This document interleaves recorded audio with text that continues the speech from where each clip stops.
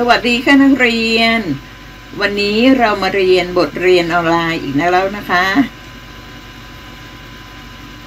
กลุ่มสาระการเรียนรู้คณิตศาสตร์ ระดับชั้นประถมศึกษาปีที่ 3 วันนี้เราจะมาเรียนเรื่องค่าของเลขโดดในแต่ละหลัก และเขียนแสดงในรูปการกระจายค่ะ คุณครูนงเยาว์ไซจำปาครูตู่นะคะ จะมาให้ความรู้กับนักเรียนค่ะ เรื่องค่าประจำหลัก เราจะทบทวนเรื่องค่าประจำหลักก่อนนะคะ ค่าประจำหลักของเลขโดด ตัวเลขแสดงจำนวน เขียนโดยใช้สัญลักษณ์ ที่เรียกว่าเลขโดด ซึ่งมีทั้งหมด 10 ตัวคือ 0 1 2 สามสี่ห้าหกเจ็ดแปดและเก้าค่ะ เพื่อให้นักเรียนเข้าใจง่ายยิ่งขึ้น คุณครูเลยเขียนลงในตารางหลักนะคะ การเขียนจำนวนโดยใช้เลขโดด เลขโดดจะปรากฏในหลัก ซึ่งแต่ละหลักจะมีค่าประจำหลัก เริ่มจากหลักหน่วยมีค่าประจำหลักเป็นหนึ่ง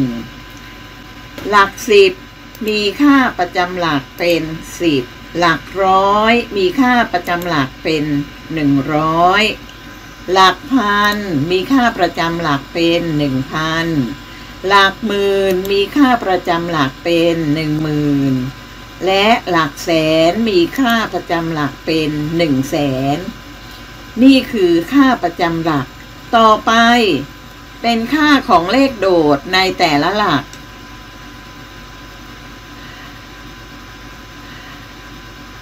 ตัวอย่างที่หนึ่งนะคะนักเรียน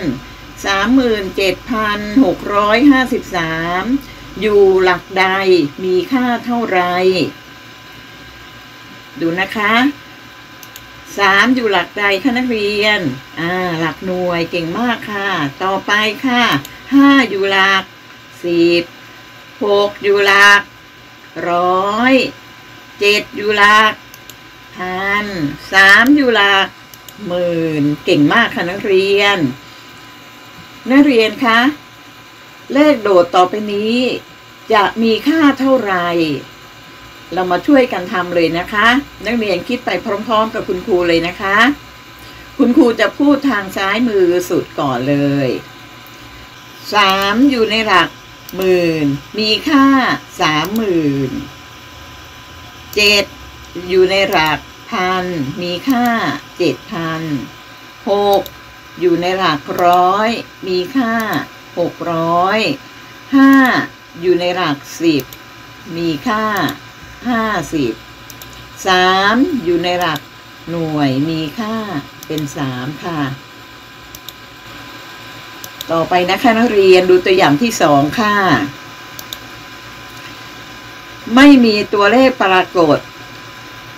แต่เม็ดดุมที่เรียงอยู่นี้เรียงตามค่าประจำหลัก นักเรียนคิดว่าจากรูปคือจำนวนใดคะาประจำหลักทางด้านขวามือสุด เม็ดดุมสีแดง อยู่หลักอะไรคะนักเรียน อ่า หลักหน่วย คือเลขหกต่อจากหลักหน่วยคือหลักสิบเป็นเลขหนึ่งต่อจากหลักสิบเป็นหลักร้อย เป็นเลขสี่จากหลักร้อยเป็นหลักพัน คือเลขสามจากหลักพันเป็นหลักหมื่นคือเลขสองค่ะ เราก็จะได้จำนวนสองหมื่นสามพันสี่ร้อยสิบหกจำนวนเลขโดดต่อไปนี้อยู่หลักใดมีค่าเท่าไหร่สองอยู่ในหลักหมื่นมีค่า สองหมื่นสามอยู่หลักพันมีค่าสามพันสี่อยู่ในหลักร้อยมีค่าสี่ร้อยหนึ่งอยู่ในหลักสิบมีค่าสิบหกอยู่ในหลักหน่วย มีค่าหก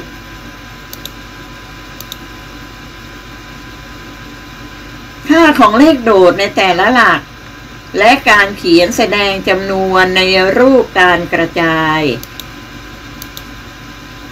การเขียนตัวเลขแสดงจำนวนในรูปการกระจาย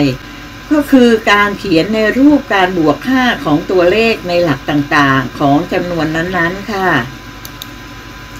นักเรียนคะเวลาคุณครูอธิบาย นักเรียนต้องคิดตามนะ มาดูตัวอย่างที่สามกันค่ะ แล้วคอยตอบคำถามนะคะจำนวนเจ็ดหมื่นสี่พันสองร้อยห้าตัวเลขของจำนวนนี้ แต่ละตัวอยู่หลักใด ดูให้ดีนะคะ คุณครูจะไม่เรียงตามค่าประจำหลักนะนะคะสี่อยู่หลักใดคะ หลักพันเก่งมากค่ะ ต่อไปเจ็ดอยู่หลักหมื่น ศูนย์อยู่หลักสิบใช่ไหมคะนักเรียนสองหลักร้อยที่เหลือก็คือห้าอยู่หลักหน่วย ดังนั้นเจ็ดหมื่นสี่พันสองร้อยห้าก็คือเจ็ดหมื่นกับสี่พันกับสองร้อยกับศูนย์สิบกับห้าหน่วย เรานำจำนวน 74,205 ดูซิว่าคะ ว่าเลขโดดนั้น แต่ละตัวมีค่าเท่าไหร่7อยู่หลักหมื่นมีค่า70,000 4อยู่หลักพันมีค่า4,000 2อยู่หลักร้อยมีค่า200ศูนย์อยู่หลักสิบมีค่าเป็นศูนย์ห้า อยู่ในหลักหน่วยมีค่าเป็นห้าเจ็ดหมื่นสี่พันสองร้อยห้าเขียนในรูปการกระจายได้ดังนี้ค่ะเจ็ดหมื่นสี่พันสองร้อยห้าเท่ากับเจ็ดหมื่นบวกสี่พันบวกสองร้อยบวกศูนย์บวกห้าค่ะ มาดูตัวอย่างที่สี่กันนะคะนักเรียน คราวนี้ขึ้นหกหลักแล้วค่ะ เพราะปสามเราเรียนถึงหกหลักค่ะสามแสนสามหมื่นหนึ่งพันห้าร้อยสี่สิบหกอยู่หลักใดมีค่าเท่าไรครูจะดูตัวซ้ายมือสุดนะคะสามอยู่หลักแสนสามตัวที่สองคือสามอยู่หลักหมื่น หนึ่งอยู่หลักพันห้าอยู่หลักร้อยสี่อยู่หลักสิบหกอยู่ในหลักหน่วย เลขโดดแต่ละตัว จะมีค่าเท่าไหร่สามแสนสามหมื่นหนึ่งพันห้าร้อยสี่สิบหกคือสามแสนกับสามหมื่นกับหนึ่งพันกับห้าร้อย กับสี่สิบกับหกหน่วย เลขโดแต่ละตัวอยู่หลักใดมีค่าเท่าไหร่สามอยู่ในหลัก แสนมีค่าสามแสนสามอยู่ในหลัก หมื่นมีค่าสามหมื่นหนึ่งอยู่ในหลักพันมีค่าหนึ่งพัน ห้าอยู่ในหลักร้อย มีค่าห้าร้อย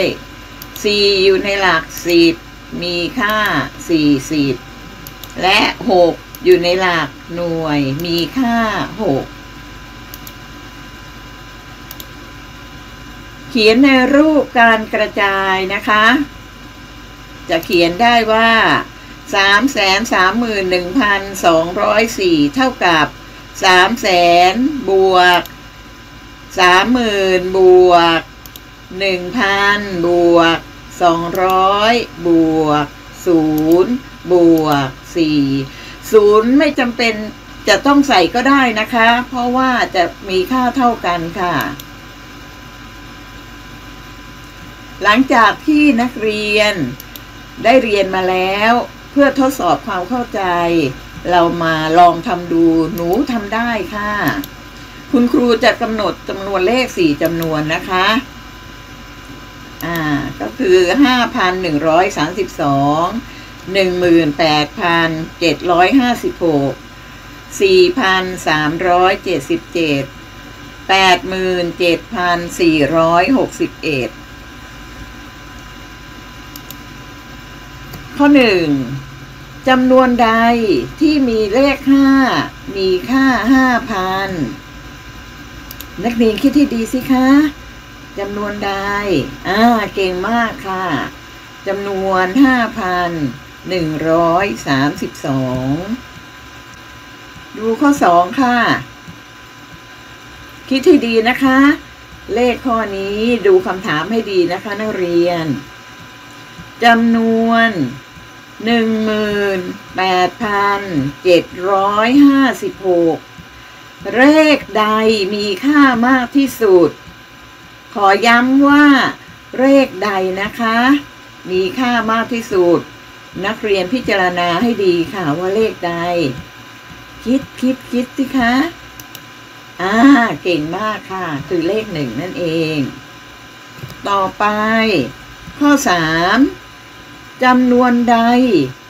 ที่มีตัวเลขเจ็ดมีค่าเจ็ด ร้อยจำนวนใดคะ อ่า คือหนึ่งหมื่นแปดพันเจ็ดร้อยห้าสิบหกข้อสี่จำนวนแปดหมื่นเจ็ดพันสี่ร้อยหกสิบเอ็ดเขียนรูปการกระจายได้อย่างไร เราเพิ่งเรียนไปเมื่อกี้นี้นะคะลองคิดสิคะ อ่าเก่งค่ะแปดหมื่นบวกเจ็ดพันบวกสี่ร้อยบวกหกสิบบวกหนึ่งเก่งมากเลยค่ะนักเรียนขอปรบมือให้นักเรียนหน่อยนะคะ เรามาสรุปกันค่านักเรียน หลักและค่าของเลขโดดในแต่ละหลัก ค่า ของเลขโดดในแต่ละหลัก มีค่าเท่ากับ ผลคูณของเลขโดดนั้น กับค่าประจำหลัก เช่นสามแสนสามหมื่นหนึ่งพันสองร้อยสี่สามอยู่ในหลักแสนมีค่าสามแสนสามอยู่ในหลักหมื่น มีค่าสามหมื่นหนึ่งอยู่ในหลักพัน มีค่าห นึ่งพันสองอยู่ในหลักร้อย มีค่าสองร้อยศูนย์อยู่ในหลักสิบมีค่าศูนย์สี่อยู่ในหลักหน่วย มีค่าสี่เรามาสรุปการเขียนจำนวนในรูปกระจายค่ะ การเขียนแสดงจำนวนในรูปการกระจายก็คือ การเขียนแสดงจำนวน ในรูปการกระจายเป็นการเขียนในรูปของการบวกค่าของเลขโดดในหลักต่างๆของจำนวนนั้น เช่นสามแสนสามหมื่นหนึ่งพันสองร้อยสี่เท่ากับสามแสนบวกสามหมื่นบวกหนึ่งพันบวกสองร้อยบวกศูนย์บวกสี่ ศูนย์ไม่จำเป็นต้องใส่ก็ได้ เพราะมีค่าเท่ากันค่ะ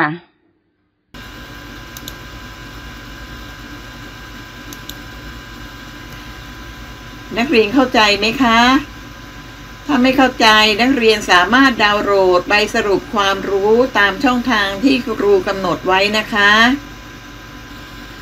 และอย่าลืมทำแบบฝึกหัดในหนังสือแบบฝึกหัดรายวิชาคณิตศาสตร์